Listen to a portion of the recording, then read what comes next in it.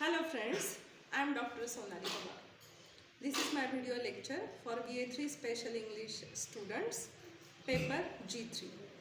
The topic I have chosen today is A.K. Ramanujan's poem The Striders. A.K. Ramanujan's English output contains only two collections of poems. First, The Striders and second, Relations.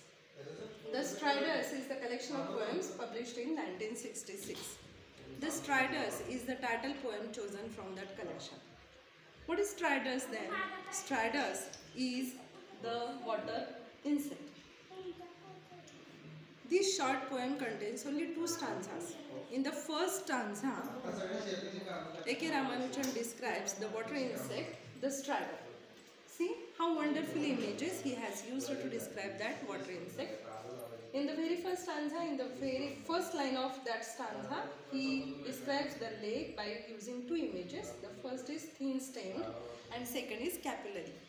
Thin stained means it is delicate, it is long and very thin like a delicate plant stem.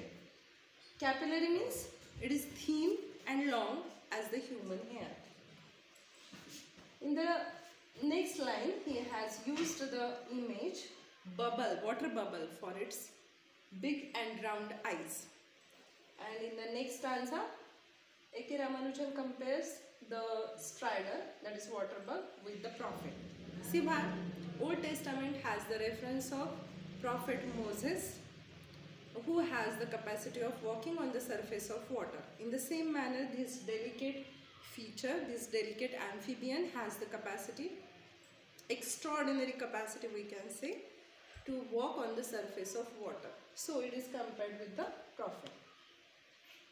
From this poem, we can safely say that.